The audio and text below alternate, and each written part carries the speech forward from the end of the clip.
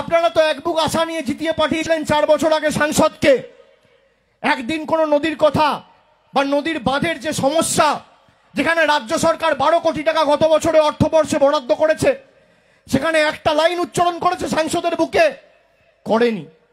আপনারা জেনে রাখুন, এই ভাঁওতাবাজির বিরুদ্ধে আমাদের ঐক্যবদ্ধ হয়ে লড়তে হবে।